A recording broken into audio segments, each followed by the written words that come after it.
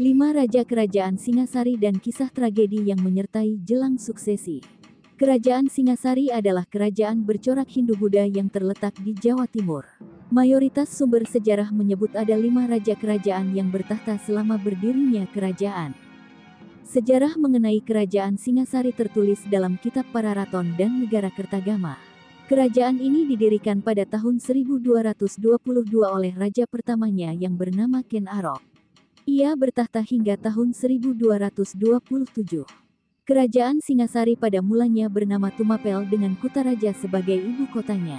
Pergantian nama kerajaan hingga suksesi kepemimpinan di Singosari diwarnai dengan pertumpahan darah antara keturunan Ken Arok dan keturunan Tunggul Ametung, Bupati Tumapel. Dijelaskan dalam buku Mengenal Kerajaan-Kerajaan Nusantara oleh Deni Prasetyo, Tumapel merupakan sebuah daerah yang berada di bawah kekuasaan Kerajaan Kediri. Tumapel dipimpin oleh Tunggul Ametung yang saat itu disebut dengan Akuwu atau Bupati dengan Ken Arok sebagai pengawalnya. Ken Arok diketahui jatuh hati kepada istri Tunggul Ametung yang bernama Ken Dedes.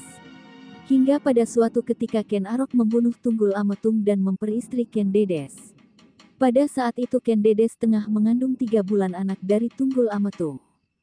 Sepeninggalan Tunggul Ametung, Ken Arok menggantikan posisi sebagai Akuwu baru di Tumapel.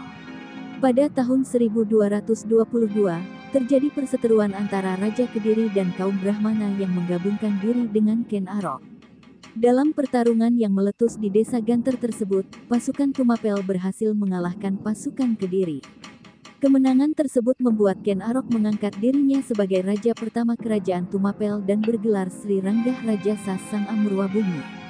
Raja-Raja Singasari Dalam perjalanan kerajaan terjadi pergantian nama dari Tumapel menjadi Singasari. Pergantian nama ini terjadi pada masa Raja kedua.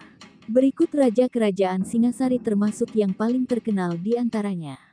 1. Ken Arok Ken Arok adalah pendiri sekaligus raja pertama kerajaan Singasari.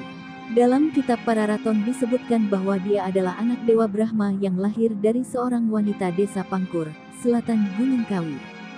Ken Arok hanya bertahta selama lima tahun, dari tahun 1222 hingga 1227. Dia dibunuh oleh seorang budak atas perintah Anusapati. Anusapati sendiri merupakan anak tunggul Ametung yang dikandung Ken Dedes. 2. Anusapati Sepeninggalan Ken Arok, kerajaan diambil alih oleh Anusapati. Ia memerintah sekitar 21 tahun lamanya, dari tahun 1227 hingga 1248. Namun, tidak banyak diketahui apa yang terjadi selama masa pemerintahannya. Pada tahun 1248, Anusapati meninggal di tangan Tohjaya yang tak lain adalah putra Ken Arok.